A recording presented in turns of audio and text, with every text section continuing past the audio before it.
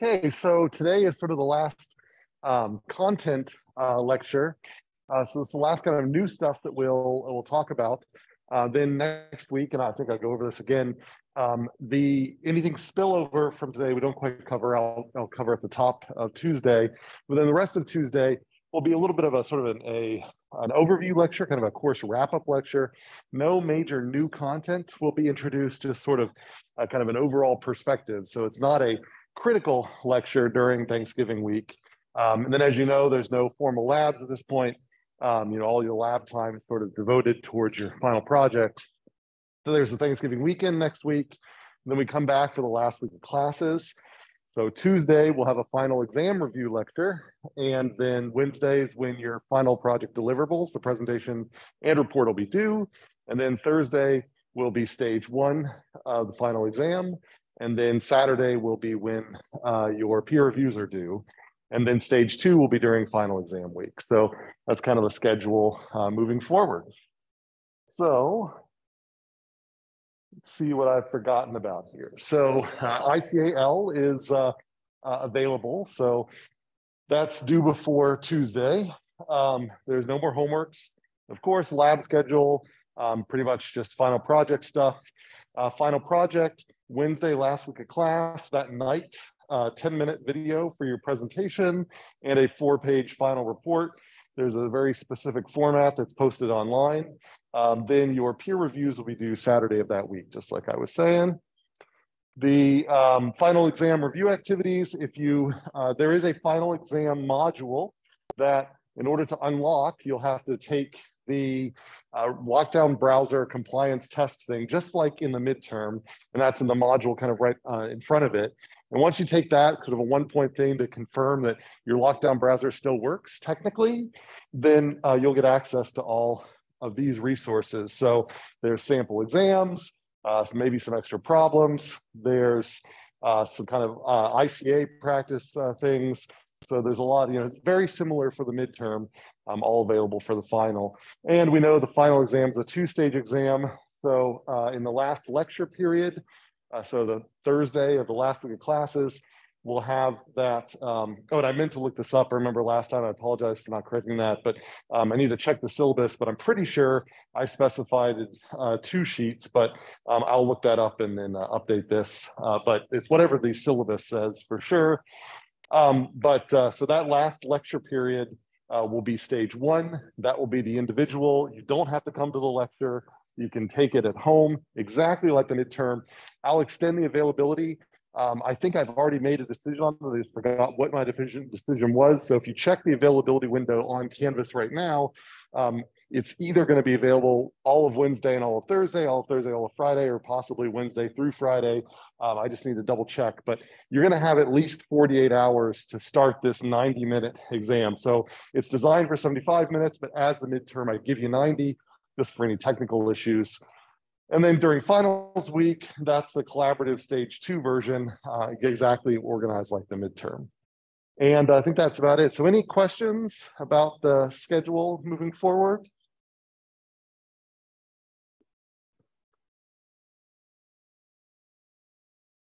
And uh, looks like audio is working fine, great.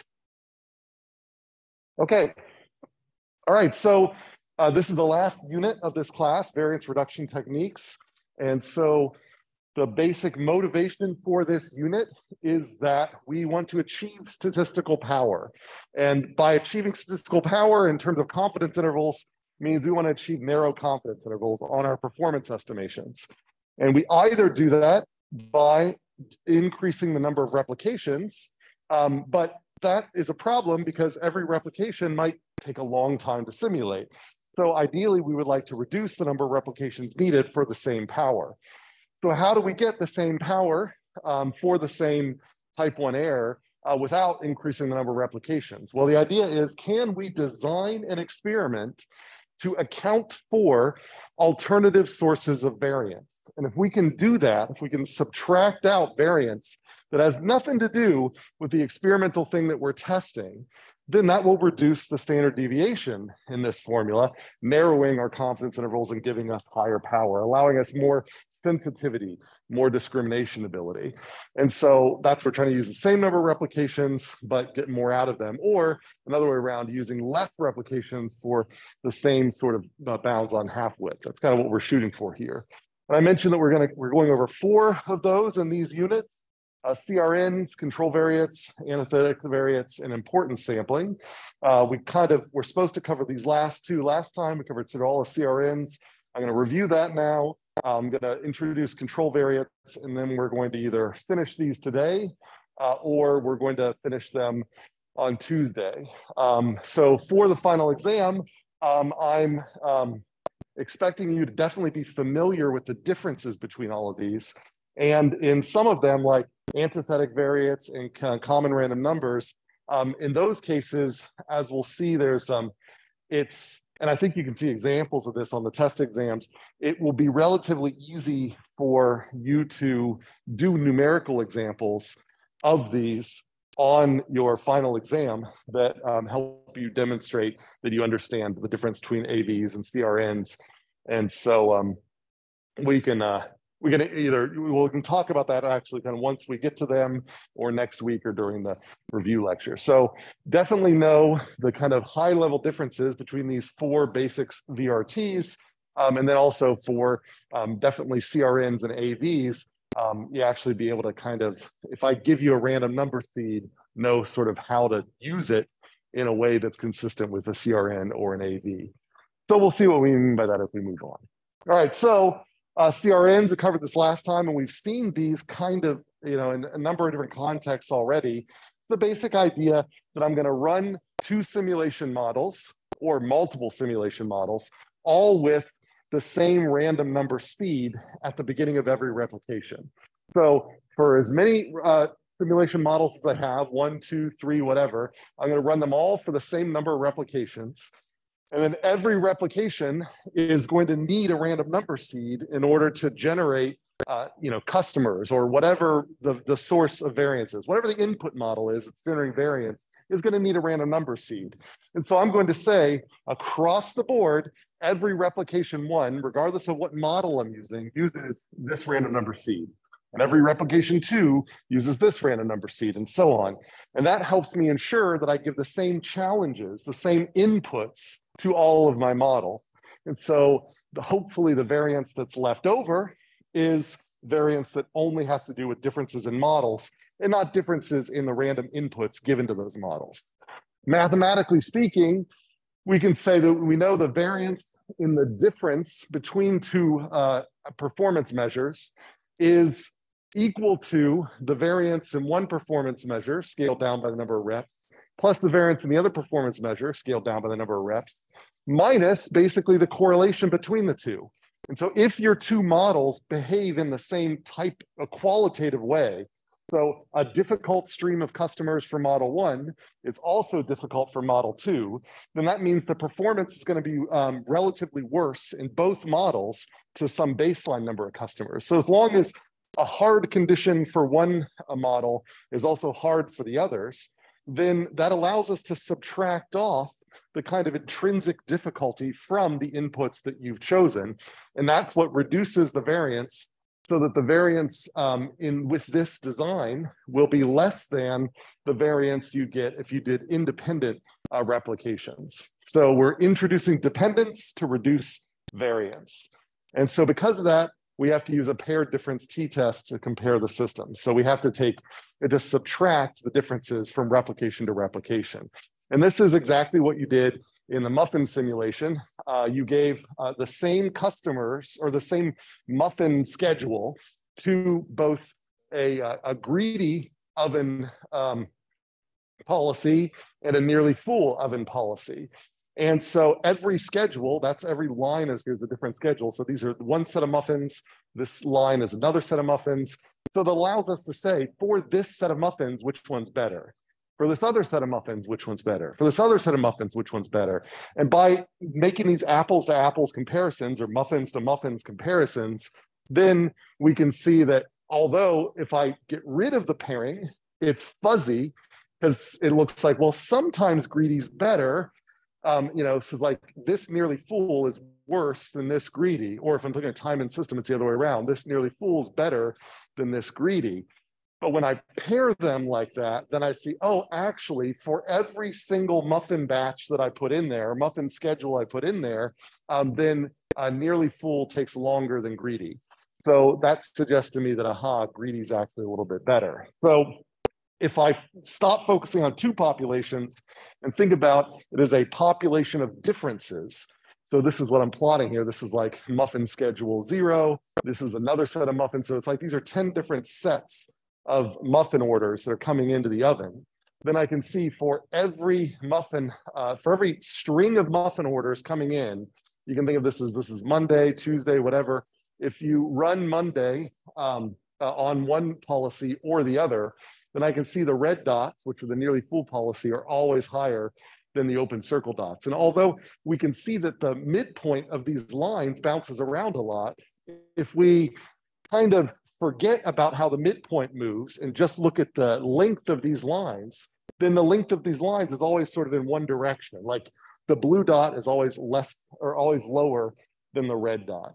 And so if we plot these differences, then um, then that ends up allowing us to sort of think of this as um, you know testing to see if these differences cross zero. And these differences, if my differences are always say blue minus red, then I can see that the confidence interval on those differences um, is unlikely to include zero. And so I can generate a confidence interval across these differences and it won't include zero. Or put another way, I can do a pair difference t-test across these pairings and um, I'm going to get a p less than uh, 0.05, which indicates that there is consistently speaking for uh, a wide range of inputs, it's always the case that red is uh, worse than blue. There is a significant difference between them.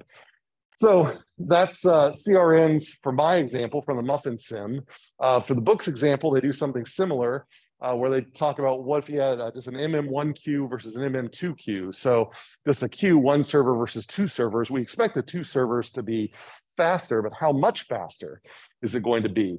Well, this is without um, any uh, pairing, so it's sort of arbitrarily paired. So we put one set of inputs into the MM1 queue, another set of inputs into the MM2 queue, and looked at their differences. Of course, there's no reason to pair those two because the inputs weren't together. And I can see that like sometimes I get huge differences, but I don't know if those huge differences are due to the differences in the queues or was this input just much harder to deal with than this input.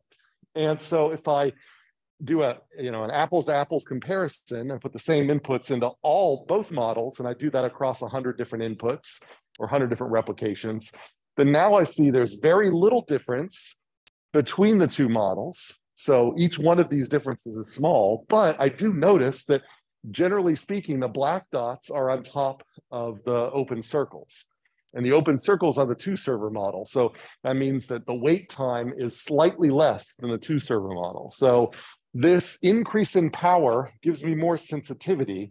I'm able to actually see that there is a small difference. You know, if I go here, uh, you know, sometimes the difference is positive, sometimes the difference is negative. Um, and my confidence interval, if I were to do a two sample confidence interval on these independent replications, it would probably include zero. P would be greater than 0.05. And I might say, well, that must mean that there's no difference between one server and two servers, but that's not the right conclusion. What this uh, more higher powered example with this paired design tells me is there is a difference between one servers and two servers. It's just a small difference. So this design allows me to detect small differences. And that's the value of getting the extra power of doing the blocking. So that's what CRNs give us, is they reduce the variance so that we can find small differences. All right, so any um, questions about the general idea of CRN? This is something that we've seen a couple of times. It's very similar to your homework G3 part one. Okay, so we can implement this in Arena. Uh, basically, you can pull in a seeds element and you can create random number streams that have this initialize option set to common. And what that does is it ensures that when you go into your repl replication setup and set it to do you know, more than one replication, that it will start with standard, whatever your seed value is here. So if you leave it blank, it's the default value. And then every replication after that will be 100,000 plus whatever the, the seed value was for replication one. And that allows you to ensure the same random number seed to every replication across models. And that's all I'm summarizing here. So um, thing to remember here is if you wanted to create your own streams, so you wanted like maybe one stream had common random numbers, but you had another stream that was sort of another source of randomness, like, you know, it's part of your policy, like your policy might be that you want to do something random in one policy and deterministic in another. Well, those you might not want to pollute the random number stream by using the same stream. So you can sort of say that, okay, for this process, I want to use one random number stream. For all the other processes, I want to use another random number stream. So any expression that draws a random number in ARENA, the final argument um, is you can leave it out, but you can also put in, it's an optional argument, the name of a stream that you've you've put in that seeds module. So that allows you to say some streams have are common random numbers, other streams are the normal way. So that's how we do it in ARENA. And if you were to do this in real life, um, common random numbers assumes that um, hard inputs for one model are also hard for another model, but sometimes that's not the case. So generally, before you go off and do hundreds of common random number replications, maybe do 10 or less than 10 as a pilot study and get the variance of one model, the variance of another model, and the variance of their difference. And if the variance of their difference is, um, of their paired difference is less than the sum of the two variances, then that indicates that uh, common random numbers will probably be a good VRT for you to use. All right, so any questions about CRNs? Back up, see if there's questions online. Okay, all right, so one we um, we're going to talk about last time we didn't get a chance to is control variates, CVs. So um, this is a motivating example. Um, imagine uh, natural variations in power output at a power plant. So you've got uh, you know, a solar power plant and you're measuring the power output coming out of that. Um, some of the, if you made an operational change from one power plant to another, you might want to see uh, how much did my change affect the power output. But um, some days you're going to have different sort of uh, levels of light coming in from the sun than others. You know, some days will be cloudier than others. So um, the so the question is, can you, that's going to be another source of variance, basically. So you could say, I'm going to run my power plant this week with one policy, and then I'm going to run the power plant next week with another policy. And we assume that as long as I don't like, you know, go like uh, across a holiday or something, that every week is pretty much similar to each other. But still, the weather might be different from one week to another. And so that weather difference um, might explain some of the differences between those two weeks, or generally it's going to generate more variance. And so the question is, if I know the weather in both weeks, can I subtract off the variance caused by the weather so the only other variance left over is the variance caused by my difference in policy between one and the other.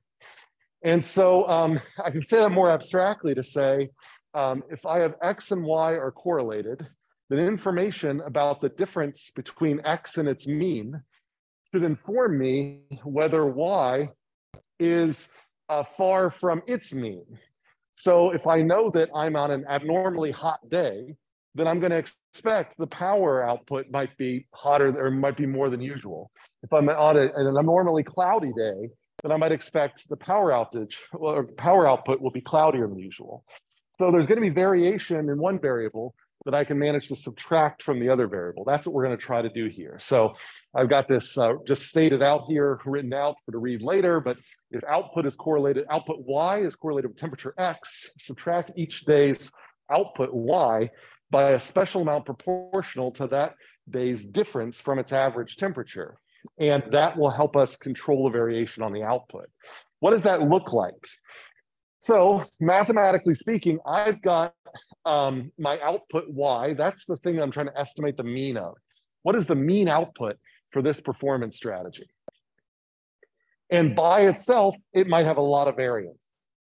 But I've also measured temperature or some other variable X that I think correlates with Y.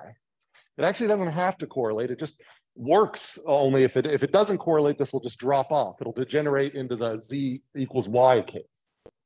So if I know that this variable X, and I also know this variable X is mean, so I know the mean temperature, so I know the temperature today and the average temperature, um, then what I'm saying is if I can see how far away today's temperature is from average, I can then come up with some scaled value of that to subtract from today's performance output. And if I build, so and then I want to estimate the, the mean of Z instead of the mean of Y. Now, if I look at the, you know, what is the mean of Z? Well, the mean of Z, just using probability theory, is equal to the mean of Y minus this thing, which these things cancel out. So the mean of Z is equal to the mean of Y. So if I can estimate the mean of Z, it'll be an unbiased estimator of Y. It's totally safe to estimate Z to give me an estimate of Y's mean. But the hope is that I can actually get Z's variance less than Y's variance. So I call Z my control variant. I call it a control variant because I'm it's it's like a version of Y where I'm controlling for or accounting for the variance due to X. And I can then do a little calculus. So I can say, well, what is the variance of my control variant? Well, probability theory, the variance of Z is going to be the variance of Y minus this expression here. Well, then I can say, well, then how do I choose C to minimize the variance in Z? Well, I can just uh, take um, you know, this expression, take its partial derivative with respect to C, set that equal to zero and solve. And what I find is that the optimal value of this constant c is the covariance between x and y divided by the variance in x. So if there's no correlation, no covariance between x and y, if x has nothing to do with y, c just becomes zero. And this z basically is equal to y. So I haven't done any harm. But if x and y are correlated, if there is covariance between them, then this value c ends up actually subtracting off things in the right direction um, from y so that I actually can make the variance in y smaller. So uh, I can estimate this covariance x and y and variance in x from data. So I don't even have to design my experiment for this. As long as I have the temperature data and I have the performance data, I can do this afterwards. I didn't have to build a new experiment for this. And it should reduce the variance in z so that my estimate, my confidence interval on, on z is smaller. Well, let's see that, I think, in an example here. So, um, yeah, this is just me saying the variance in Z is equal to variance in Y minus this term here. So the greater the correlation, the less the variance in Z. Okay, so what does that look like? So here's a really simple example. Um, so imagine I just drew uh, x from a uniform distribution between zero and one. So I know the mean of x is 0.5 because that's the mean of a uniform distribution. So you can pretend like x is temperature data. And then I've got y, um, I'm going to say is the exponential function of each value of x. So um, pretend like x is a simulation. So it's like it's like x you know, is an input model and the exponential is the simulation that is taking the inputs and generating variation. So the variation that I get um, on y is due to the variation I get on x. And I can see how far each x is from its mean. And so I'm going to use that to hopefully improve my estimate of what y's mean is. So I can do this particular problem because x, the exponential function isn't a simulation. So I, in this case, can generate ground truth. I know that the mean of, um, of the exponential over the distribution specified by x is 1.7183. So if I generate a thousand numbers uh, or a million numbers from the uniform, pass them all through the exponential and take the mean of the result, I should get something close to uh, 1.7183. So I do that. So I'm going to generate a thousand replications of X from uniform distribution between zero and one. This is just in MATLAB. And I'm going to then generate Y, which is going to just transform each one of those by the exponential. And I can take the mean of y and I'll generate its standard error of the mean. And I get a mean of 1.7085 and a standard error of 0.0157. And so that's pretty close to what I'm expecting. But I want to say, can I reduce the variance in, um, in y, or what I'm going to say in z, um, without having to generate any more replications? In other words, because I know information about x, can I make this interval tighter? And so how do I do that? Well, I'm going to just say, um, I'm going to estimate the variance in X, so variance in X, and I'm going to estimate the covariance between X and Y. And so um, in, at least in MATLAB, if I do covariance X and Y, it generates a matrix and I can extract the covariance term that I need uh, with this little expression here. Um, don't really need to get into that, but this is the variance and that's the covariance. So I can create this constant, which is just covariance divided by variance is that thing. And then I can build a random variable, z, which is just all of my y values minus 1.686 times each x value minus 0.5, the mean of x. And then I can estimate the mean um, and standard error of uh, this random variable z. And so that's what I'm doing here, mean of the z, standard error of the mean of z. And what do I find?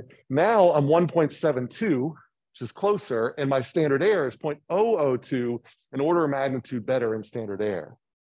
So I've actually greatly reduced the variance without adding any replications. Just by using information about my input model, I'm actually able to improve the estimate of the output. That's a control variant. Any questions about that? This is very closely related to those of you who go on to take a course that involves um, general linear, linear models. Um, you know, linear models, multivariate linear models. This is what they do behind the scenes. As you say, I've got a bunch of, I've got factors I care about and factors that are just there, and but I know information about the factors that are there. So I'm going to use that information to reduce the variance in my estimate of the effect of the factors I care about. That's what's going on here. Okay, questions online? Okay. All right, so those are our first two that we cared about there, CRNs and CVs. So in today's lecture, I want to introduce AVs, and if we get so far, importance sampling. Otherwise, um, we'll save importance sampling for Tuesday. Um, so uh, antithetic variates, um, the, if we go back to thinking about CRNs, CRNs are only for relative performance of evaluation. I've got two models, X and Y. I want to see which one's better. And so I end up giving them both the same inputs, and then I look at their differences for every input. And so, and that's great because by accounting for some variance in input, um, I can then remove some of that input and um, each pair produces a difference that's independent from the other pairs. It all, it all works great. Can we come up with an analogous approach for estimating an absolute performance of a single model? So not comparing X to Y, but just making X better. And um, and so like control variates, that's sort of an example of that where we um, we are not necessarily comparing X to Y, but we're just trying to make that variance or that can, um, to make the estimate of Y better. So can I do something CRN-like to make another way to reduce the variance in an absolute performance measure? And if I think about it, if I'm estimating a single, just run a single model, not two models, just one model over and over and over again for 20 replications or 2000 replications or whatever. Um, then, and if I look at my simulation output, um, sometimes I'll get high, like if this happens to be the mean that I would like to estimate, I don't know the mean ahead of time. It just happens to be the mean. Um, if if I you know if, if if I'm just running this test and I happen to know that this is the mean, then the first couple of replications are above the mean. The next replication's below. The next couple are above. The next few are below. Um, there's no pattern. There, generally speaking, though, if I run a long enough number of replications, I will get replication, I will get outputs both above and below the mean, and it'll all wash out when I average them out. But by the law of large numbers, I have to run a lot of them for the washing out process to happen. If I only run three replications, then all of these are going to be above the mean. And, um, and it's going to, I'll get an estimate that's way too high. Um, if I run four, it brings it down, but you know, five or six, it's still a little bit high. It's not until I run 20 or so or even more that I get a, a roughly equal number above the mean and below the mean that when I average them out, it all washes out. So is there a way for me to sort of engineer my random numbers to make it so that I don't need to count on the law of large numbers, that for any small group, I will get likely um, the same number above the mean as below the mean. That's what I generate with antithetic variates. So, um, so what I'd like to do is somehow make it so that if I run one replication that's above the mean, the next replication will be below. The next replication might be above the mean, but the next replication will be below. And so we get this kind of back and forth. And so it might be above, below, and then below, above. But the point is, every pair will sort of straddle the mean. Um, or there will be groups of pairs that straddle the mean. That's what I'd like to somehow create. And so, can I do that somehow? Um, if I can, then uh, then I have the ability to reduce the variance of my absolute estimator. So um, if I happen to be able to make it so that every replication, we'll call it A, uh, and the one that comes after it, B, if I group them together in a pair, and if I take the average of each one of those adjacent replications, that ends up becoming um, this estimator here, and it will be an unbiased estimator of the total thing. So it kind of makes sense that if I'm just taking two points and I take their average, their average should be an unbiased estimator um, of the thing that I'm actually trying to estimate. But the beauty of it is that if I take the variance of this little pairing here, of this arithmetic mean, then I do a little probability theory, and it's the variance of, um, of one sample plus the variance of another sample, uh, plus the covariance between these samples, and you know scaled down by four. So the idea here is if I can manage to generate uh, an anti-correlation between every replication and the one after it. So if one, if the one replication's high, the next one's low. If one replication's low, the next one's high. Then this here will end up being less than it would be if there's no correlation between the two. But I have to make sure that every time I run a replication, the next replication is kind of the opposite side of the mean as the previous replication. That's what I'd like to engineer. So can I generate negatively correlated pairs by playing with the random number streams? And of course, since I'm asking the question, it's apparently possible to do. So um, the idea here is I'm going to take, um, I've got, in this case, four replications. And um, if I think about what's going on inside a simulation model, it generates a random number seed, a new seed per replication. And it takes those random number seeds, and with them, it generates uniformly distributed random numbers between zero and one. And so as I'm running down through a replication, um, let's say I need to draw an exponential random variable. Well, inside the machine, it's going to convert a uniform random variable into an exponential using the inverse transform technique. That's what I've got here. So you can think of that as the inverse transform of whatever distribution I want, let's say for my inter-arrival process. And it'll keep doing that for every customer or whatever. So there might be a thousand customers and it'll do this for a thousand times and it'll go on over and over again. And then the next replication, it generates a new random number seed and that will generate a new uniformly distributed random number for each one of these positions. And it'll go and do that over and over again. So this is how a normal simulation runs. And so I can mathematically view a simulation as a function h, which itself takes as arguments these inverse transforms of these uniform uh, random numbers between zero and one. So that's really, you know, if a simulation draws a thousand random numbers to generate a one output, I can just view it as a function of a thousand numbers uniformly distributed between zero and one. So that's how modeling a simulation. So what I then can do is say, okay, I've run however many replications, say four replications this way. Um, what if for every one of those uniformly distributed random numbers, after I run, run one replication of it, I save those thousands of numbers for that replication, and I just take one minus them.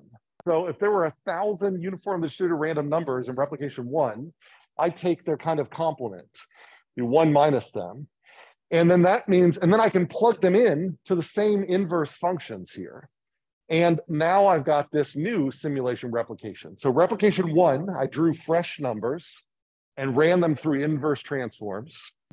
Replication two, I took all of my numbers that were fresh in replication one and did one minus them and ran them through the same inverse transforms.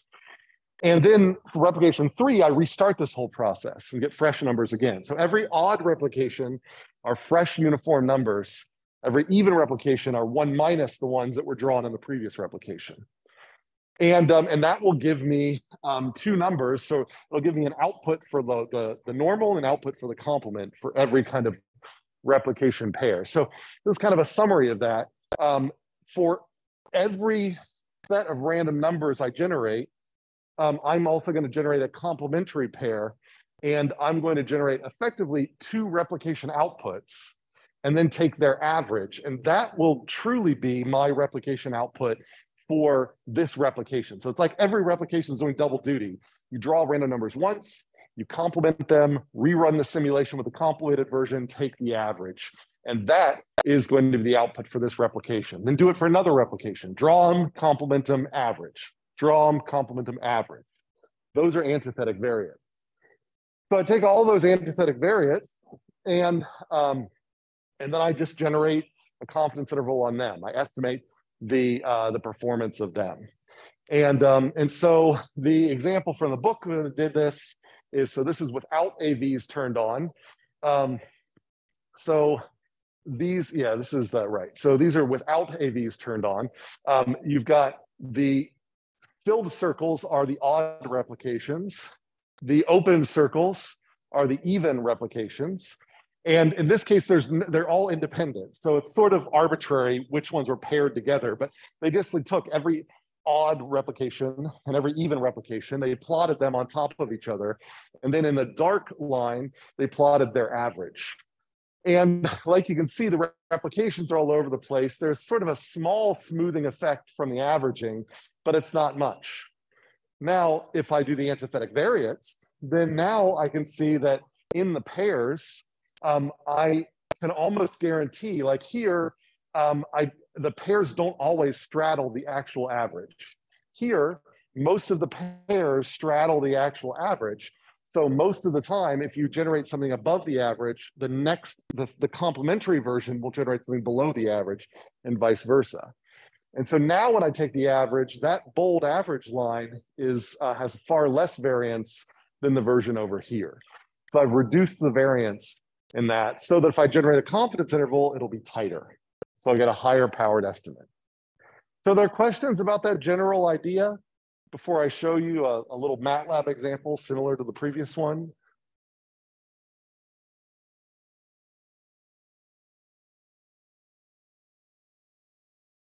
Okay. So this is very similar to the previous one um, with my control variates.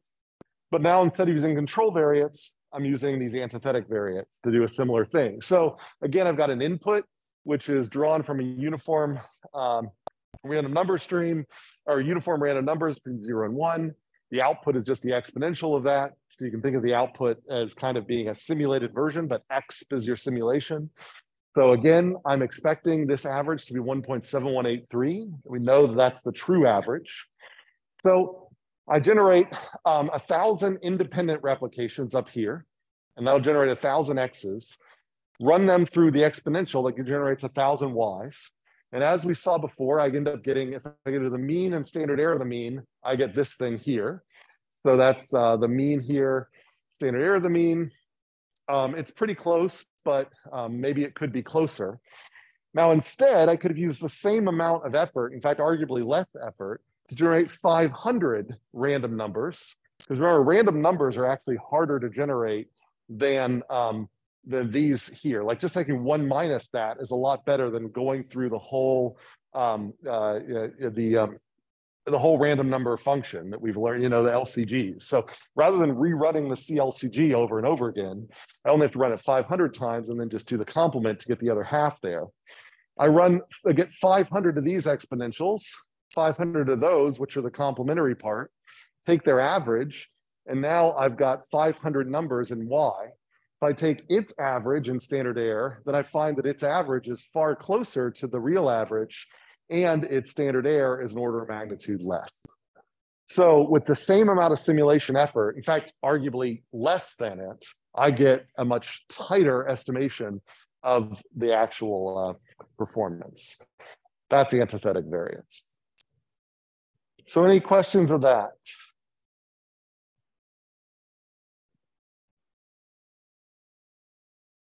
Questions online? All right, so this is another one of those things, by the way, and I'll get to this, where it's not always going to work. Um, but uh, we're hoping that this little trick in your simulation model will generate these um, sort of, uh, th that generates these negative correlations, but it's not always going to work. And so you generally do have to run a pilot study. How do you generate these in ARENA? It's really similar to common random numbers. So you drag your seeds element in just like before. You can click add to generate a new stream, or you can name it 10 if you want to be the normal stream.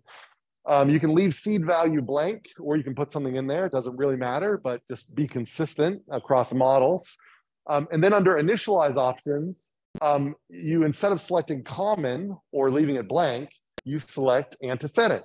That's what it sort of says there on this projector. It's hard to read, um, but antithetic. And then that will automatically ensure this pattern. So what that will mean is that um, ARENA will generate fresh random draws every odd replication and every even replication behind the scenes before it does all of its inverse transforms, it will take the same numbers from the first replication, do one minus them, and then use those as the numbers to generate the outputs for the second replication. And, um, and then you'll get those outputs and then you can then average them um, as well. So it's not going to the averaging for you, but it will guarantee that replication one and two are paired together, three and four are paired together, and so on. And that's just, again, rem reminding us how to specify streams. So then that's the output here. You'll get um, you know, two R replications. You can then pair them up together by taking these averages and, um, and there you go. So any questions about antithetic variates, how they work?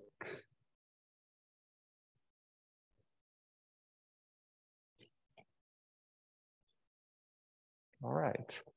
Looks like we are going to get through importance sampling then. Okay, so then the last topic for this course to cover is importance sampling. And so um, importance sampling is, um, is an interesting idea where now we're actually going to introduce bias and then remove the bias. But through the process of introducing it, we'll actually be able to use less replications to estimate a rare event. So, um, so that like imagine this case. I have to, I've got a highly accurate model of a nuclear reactor. And so I know it's accurate in that it has all of the components the real nuclear reactor is. And I want to do a performance estimation of this highly accurate model of my nuclear reactor. And I want to basically say, how often in all of the runs of this nuclear reactor am I going to get a meltdown situation where the reactor temperature is greater than some threshold? Now, if this reactor has been well designed, this probability should be really, really low. This should be a rare event. But still, as an engineer, it's good for me to know how rare it is. Is this like, you know, 1% of the time, half a percent of the time, a thousandth of a percent of the time? Because, you know, you're going to build this thing once and, you know, it might be 100 years before one of these catastrophic events happens. Um, but and, and you have to sort of know like how often are these catastrophic events going to occur because it'll probably be outside of the normal window that um, that you're, you're thinking about. So I would like to estimate this, but I really need this to be an accurate estimation estimation of this rare event. Now, the problem is rare events are rare. And so if you run 500 simulations, 500 replications on the computer, you're probably not going to see one of those rare events. So, um, so we, we need a way to sort of generate more rare events in our simulation budget and yet still be able to accurately predict how rare they are um, in reality. So that's what we're going to get to here. So assume that our reactor simulation um, takes as an input variable x. Uh, so this might be the temperature of the day. Um, this might be, um, you know, some some physical variable that affects the operation of the reactor. So again, I think daytime temperature, maybe that's that's fine. Um, and it has some probability density function. Let sim, that's just our generic um, function, which represents the simulation. So all of the simulation bundled up into a function I'm calling sim. So let sim x denote the output uh, temperature when the input, let's say the external temperature is x. So I would like to use our simulation replications to estimate the probability that my output uh, for whatever the input is, is greater than the temperature, which um, is equal to uh, the expected value of this thing that's called the Iverson bracket. Basically, these brackets mean that whenever this condition is true, it returns a one. Whenever this tradition is false, it returns a zero. That it says down here. So if you basically keep track of, okay, I ran a replication and temperature was too hot, one. Ran a replication, it was fine, zero. And you do that, you get a, a string of zeros and ones. And if I take the expected value of that, or the mean of that, so if I estimate it by that, then that should be um, uh, approximately equal to the probability of this rare event. Well, that sounds fine. Um, but the problem is going to be that if this rare event doesn't happen in the 100 replications I chose to run, then I am going to underestimate the rare event to never happening. In reality, it was just so rare that I didn't see it in 100 replications. Like if you're flipping a coin that only comes up heads one out of every, you know, with a probability of one out of a thousand, if you flip those coins 100 times, it's going to go up tails 100 times most of the time. So it's going to be very rare to catch that. So, you know, you're not going to know whether the probability of it coming up heads is one out of a thousand or one out of 10,000. Because for both of those, if you only run 100, you're not going to notice a difference. And so that's kind of what we're trying to deal with here. So how do we deal with that mathematically? Well, the expected value of any function of a random variable can be written like this thing here. So what I'm going to do is I'm going to say, what if I can generate, imagine I'm in a bizarro universe where temperatures are super, super hot. And I know how the temperatures of the day in that bizarro universe compare the temperatures of the day, say, in my universe. So if my universe's temperatures look like a bell curve centered around, I don't know, 80 degrees or something like that, then that universe's temperatures are a bell curve centered around 420 degrees or something. It's like super, super hot there. But I know their distribution and I know my distribution. Um, and so I would like to take my reactor out I want to stress test basically my reactor. I'm going to move my nuclear reactor into this universe where um, things are super hot. Like right now, Artemis 1 just got launched. You know, it's heading to the moon. Um, it's unmanned. And, uh, uh, and they said that they're going to have that, uh, have Artemis 1 go through maneuvers that they do not plan to ever go through when there's a human on board because they want to stress test it. And, uh, and so they want to push it outside of its bounds.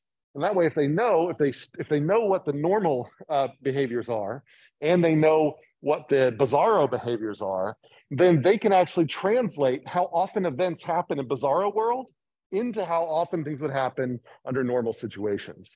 That's importance sampling. That's what we're doing right here. So we're, we, this Y is temperature in bizarro world, maneuvers in bizarro world, the things you would never do under normal situations. And it's got its own distribution. This is like the temperature distribution in our Bizarro universe. All that we require is the range of the two random variables are the same. Uh, but, um, but this random variable is going to overexpress um, inputs that are likely to generate uh, flaws, errors, problems. So then I can take this expected value and I can write this equivalent thing here. Basically, I'm taking you know, this probability density function, it's still there, but I'm going to multiply it by unity here, the probability density of y divided by the probability density of y. I didn't change anything. I just introduced this new probability density here. And this ratio here that's in between, um, I'm going to call it W, and I'm referring to as the likelihood ratio of X and Y, of f of X and f of Y, of the distribution in reality to bizarro distribution. And then, so this expression that I've just written here is equivalent to the expected value of the simulation taking y as an input times the likelihood ratio over the distribution of y. So it's like I can say, well, I can either simulate um, in the real world with real temperatures, or I can simulate in the fake world with crazy temperatures, just so long as the performance variable that comes out of my sim, after it comes out of my sim, it gets multiplied by this likelihood ratio. And after that, then the expected value in the Bizarro world after scaling will actually equal the expected value in the real world if I hadn't biased my inputs. That's importance sampling. So I estimate um, my, uh, my expected value in the real world using the temperatures from the Bizarro world, um, and you end up getting this again. So it's I run R replications of my sim, I scale it by the likelihood ratio, divide by R to get my arithmetic mean, and that's how I end up uh, estimating it. So that's how importance sampling works. Um, and I want to do an example, um, kind of again, sort of a MATLAB example here. But before I do that example, are there general questions about this idea? About choosing input models that are purposely bad so long as you know how to compare the bad input models to the real input models. And that allows you to generate, take results in the bad world and convert them into the results that you would have gotten in your world. So we had, a, you know, in X, the rare event never happens. In Y, the rare event happens all the time. So by scaling by the likelihood ratio, we turn the all the time uh, proportion back into the rare proportion, but we only have to run a couple of replications in Y universe, whereas we might have to run millions of replications in the X universe to get the same thing. That's importance sampling. Any questions online? Okay, so let's do it a little numerical example of this. Um, I've got a simple simulation which just passes the input to the output.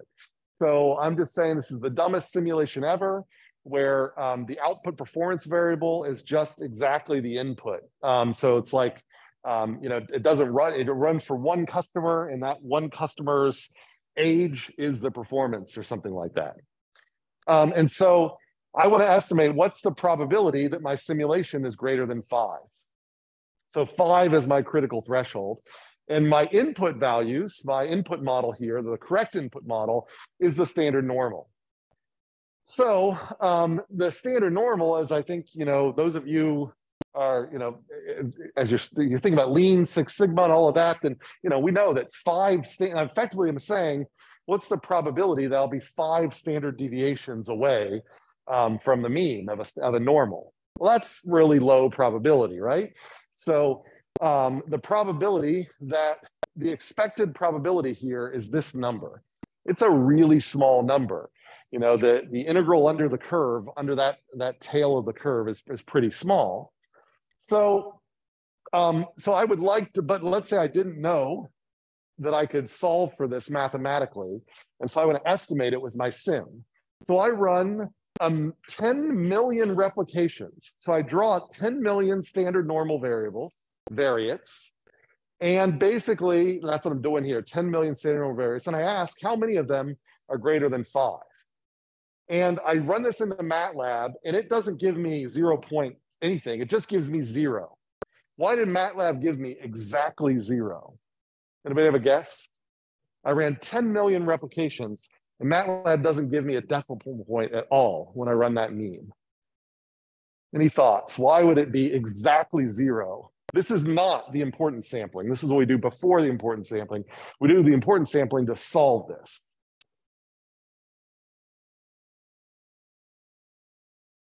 If you take an arithmetic mean and it's uh, of a 10 million numbers and it ends up being zero, what does that tell you about the 10 million numbers? Just think about it algebraically. Any thoughts? Just your intuition. So you take, this is not stats or anything. It's just, it's just if I'm taking average of 10 million numbers, that's what this. So the, the thing inside the mean are numbers that are the zero or one. It's basically how often is this these 10 million numbers greater than five. And so if the random variable is less than five, this will be a zero. If it's greater than or equal to five, it'll be a one. So I'm taking a mean of a bunch of numbers, either zero or one, and I have 10 million of these zeros or ones. And taking the average of these 10 million zeros or ones gives me exactly zero. So any thoughts on line two of why this would happen? It's not 0 0.0004, it's not 0 0.003. No guesses. We got plenty of time. I can stand here for 15 minutes.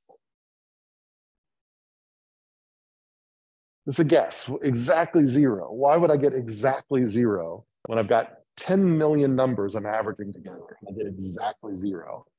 And they're all positive, these numbers.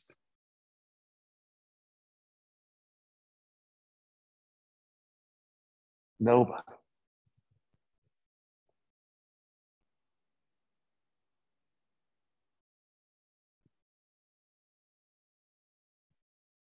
Yeah.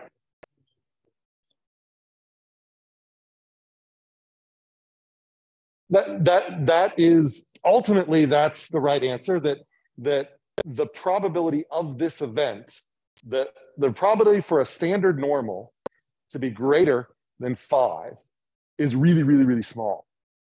And so that's ultimately what's causing this. So approximately, you know, closer to what's going on here. So what does that mean about this vector? This is a 10 million long vector. And if I take its arithmetic mean, it gives me exactly zero, not 0 0.000002. It gives me exactly zero. So what does that mean about the 10 million long vector? And it's related to that fact that was just pointed out, that this probability is really small. And remember, the elements of the vector can either be zero or one. And so I'm taking the average of 10 million things that are either zero or one, and I'm getting exactly zero. And this isn't a floating point error or anything like that. It's, it is, it's true that the, the average of these 10 million numbers is exactly zero, no decimal.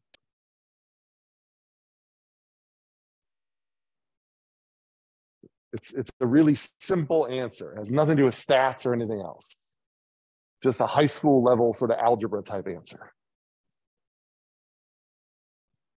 But it relates to simulation.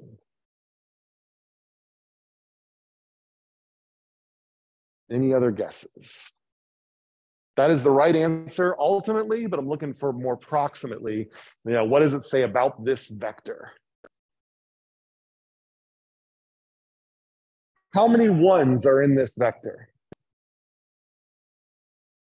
Remember, this vector can either be one if these numbers are greater than five, uh, or zero if these numbers are less than five. How many ones are in this list of 10 million out, outputs? If I average these zero and ones, it comes out to exactly zero.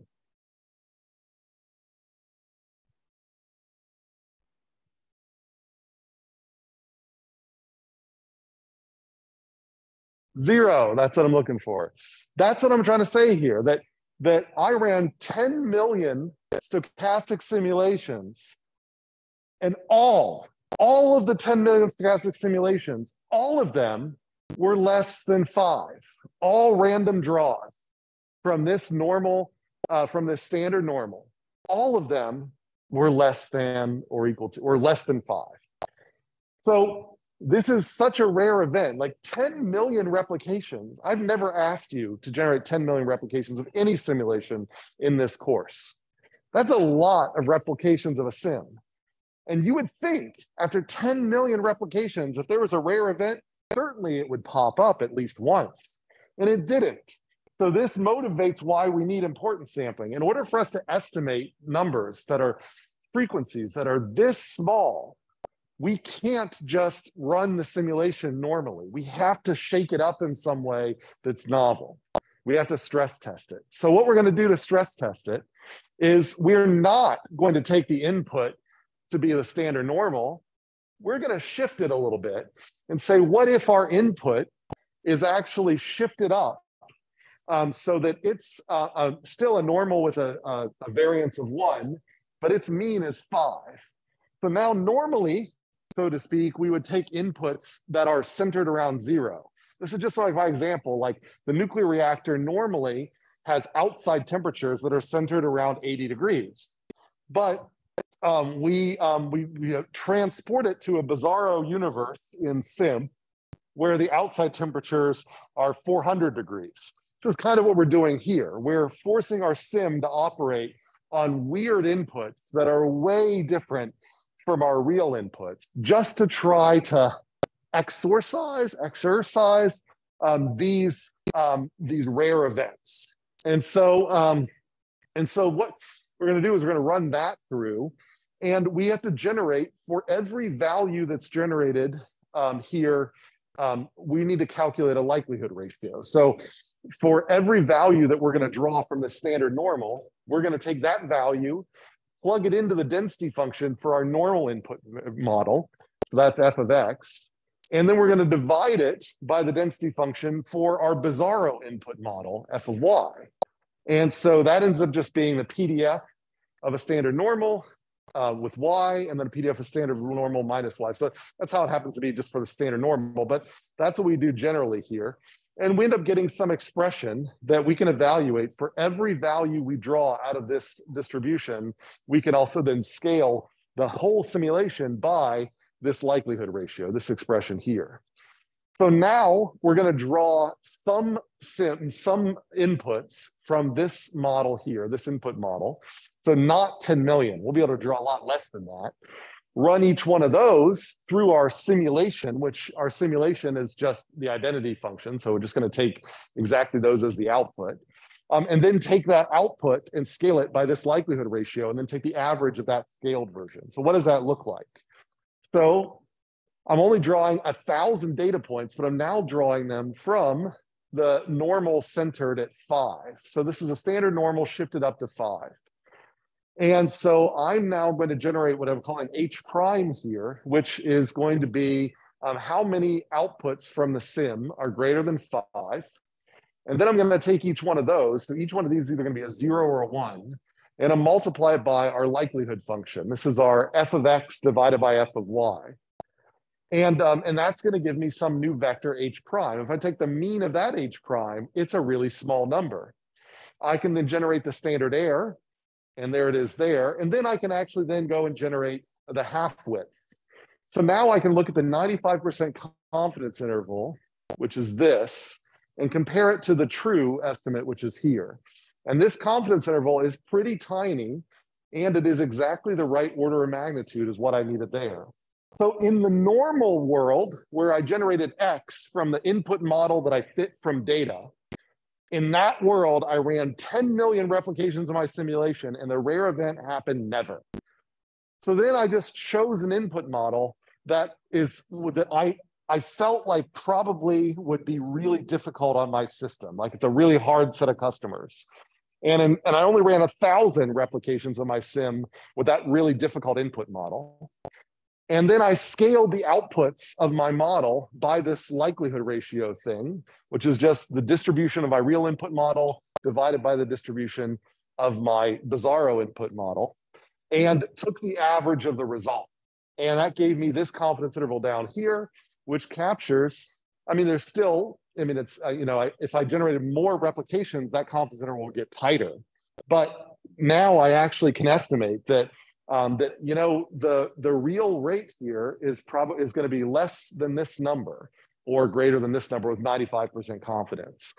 So in the first experiment, I'd come back to my boss and say, "Hey, boss, the nuclear reactor will never melt down." It's great, uh, but in reality, that was just an artifact of the rare event and the fact that I had not enough samples. Now in this one, with very few samples, I can come back to my boss and say, actually, we know that um, it will um, melt down with this probability. Um, so this is the proportion of, um, of runs or days or whatever uh, we're, we're simulating it on. Um, so every day, this will be the probability that we'll get a meltdown. And it's a small number, but we'll be able to estimate it with a very number, very small number of replications. All right, so any questions about that? The general idea of importance sampling. This is a, uh, a very general framework. Um, I had a paper that I had to review for a robotics conference that was doing this in a robotics application, the, trying to um, so as, so as an example there, um, you know, you've got all these autonomous vehicles driving around on the, on the, the roads. There will be rare events. Those vehicles will collide um, into things periodically, but they happen very rarely. So what do people do? They have generate simulations, high, high fidelity simulations of the autonomous vehicles out there, the Waymo vehicles, et cetera, um, in a wide variety of uh, cases that we think are like what goes on in real life. And what they find is when they're, they're very similar to real life, then you don't get that many of these catastrophic events. And so you don't actually know how often these catastrophic events occur.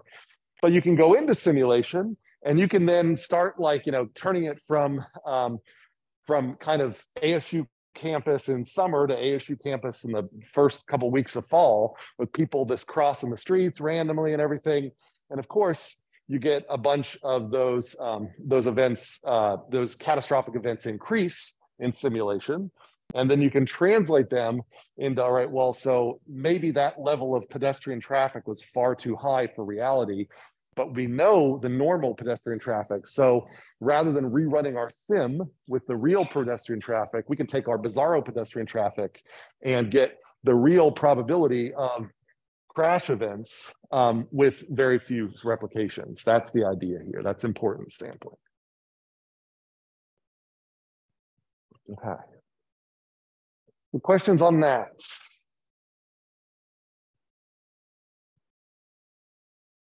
Questions online? Okay, so um, so I'll give you the attendance question here. Um, that pretty much is it for all the new content of the course. I'm gonna do sort of, like I say, course overview. Uh, we'll rerun through um, the VRTs um, in a slightly different format. I'll actually have a PowerPoint presentation on Tuesday instead of these LaTeX slides. Um, but um, but like I said, Tuesday is not a critical lecture. If you want to use one of your drops, you know, it's, you know, it'll be recorded as well because, uh, you know, next week is the holiday. That's totally fine. But, um, but keep working on your final projects. You've all got that feedback back from your input modeling reports. Um, and then you'll come back after Thanksgiving and uh, it's the last week of classes. And so Tuesday, we'll have the final exam review lecture. Wednesday, all your final project stuff's due. Thursday, stage one final exam. Saturday, your peer reviews will be due. Stage two will be during finals week. So that's the pattern going forward. So any questions before we close out today? And I will double check um, and fix these slides about those um, sheets, the crib sheets. But follow the syllabus. It'll be whatever the syllabus says. All right, so in that case, um, let me put the uh, URL in the chat.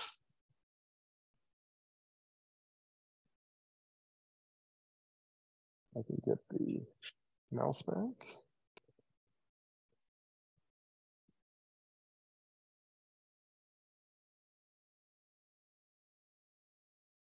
All right, so Zoom is doing that thing online where I can't uh, shift to the chat. Let me try um,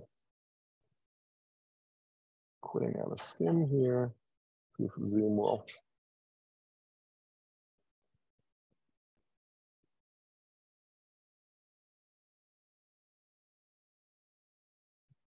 Okay, there we go.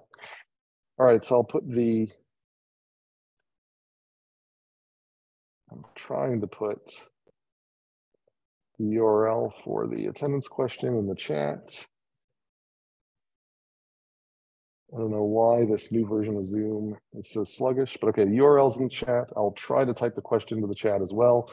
So the question here I have is, um, of the four CRT or VRTs, the variance reduction techniques that we have discussed, um, which one of them um, uses complementary values of random numbers to improve absolute performance estimation.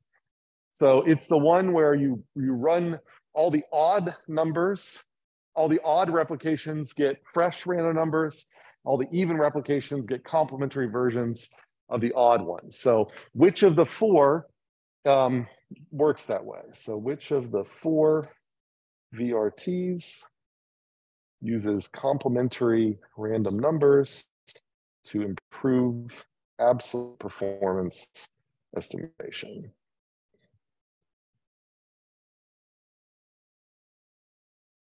And that's all I've got for you today. So uh, we'll see you on Tuesday, unless we don't. And I hope you have a good weekend. And for those of you who may not show up on Tuesday, I hope you have a nice holiday.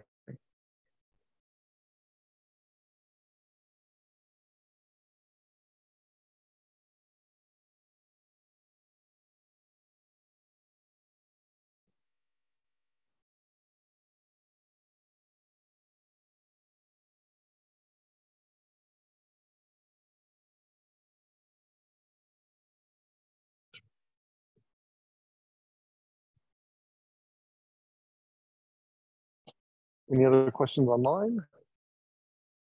If not, then I will go ahead and close the room.